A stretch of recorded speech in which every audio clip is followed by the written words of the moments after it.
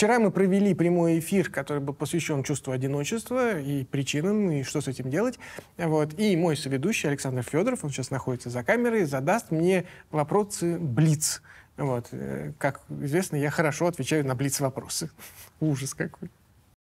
Вы сами испытываете одиночество? И если да, когда это было последний раз?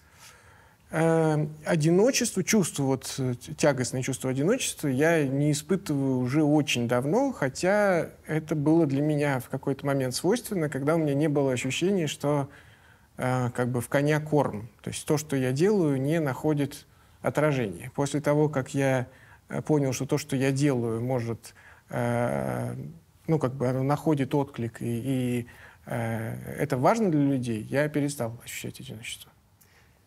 Когда люди жалуются вам на одиночество, что вам хочется ответить? Я им завидую очень. Они могут э, какое-то время побыть, что их бесконечно не друт на какие-то части. Вот это. Вот. Мне приходится уезжать специально в другую страну, чтобы прятаться немножко время хоть подумать, что невозможно столько быть социальной обезьяной.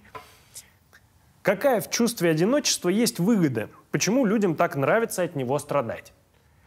Ну, страдание — это на самом деле способ себя как бы обезопасить от преодоления страдания. Вот, потому что, когда вы страдаете, вам плохо, но для того, чтобы изменить ситуацию, вы должны применить какие-то усилия. Да? Но если вам плохо, вам еще сложнее применить усилия, чем если бы вам было хорошо. И дальше получается, что страдание, оно защищает меня от того, чтобы я что-то начал делать, и мне как бы, я стабилизируюсь на неком уровне дискомфорта. И идея, на самом деле, состоит в том, чтобы чуть-чуть, как бы сказать, усилить страдание для того, чтобы перестать его наконец испытывать.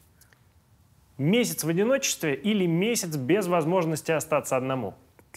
Ну, а, вопрос понятен. Месяц одиночества. Пожалуйста, выдайте прямо сейчас.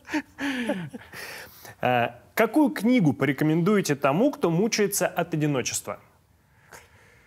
А, но если про мои говорить, то у меня есть э, книга, называется «Главные вопросы жизни», и вот мы там как раз э, в свое время еще с Татьяной Девятовой, мы и делали первые варианты, мы тогда очень эту тему проговорили, и мне кажется, что эту книгу именно за это и любят, за э, то, что я рассказываю там про одиночество и про то, как формируется это чувство. Я думаю, главные вопросы жизни. Что нельзя делать, когда чувствуешь одиночество? Нельзя делать, когда чувствуешь, жалеть себя. Значит, вот э, только вы начали себя жалеть, все, вы начинаете сразу всех ненавидеть, что они вам вас, значит, сделали одиноким. Как только вы начинаете всех ненавидеть, вы становитесь еще более одиноким, у вас нет никакого внутреннего ресурса для того, чтобы выйти навстречу тем людям, которые подлецы заставили вас так себя дискомфортно ощущать. Поэтому ни в коем случае себя не жалейте. Вот, э, и это первое правило Красная таблетка 2, кстати, я там подробно описывает. Если бы у вас была возможность э, дать человеку, который мучается от одиночества, только один совет, какой бы это был совет? Какой бы был совет? Найди в себе ценность. Найди в себе то, что может быть нужно другим людям. Правда состоит в том, что мы не будем чувствовать себя одинокими только в том случае, если мы будем чувствовать себя востребованными. И поэтому до тех пор, пока нет того, чем ты можешь поделиться, а, есть высокий риск, что будешь испытывать чувство одиночества. Спасибо. До новых встреч, товарищи.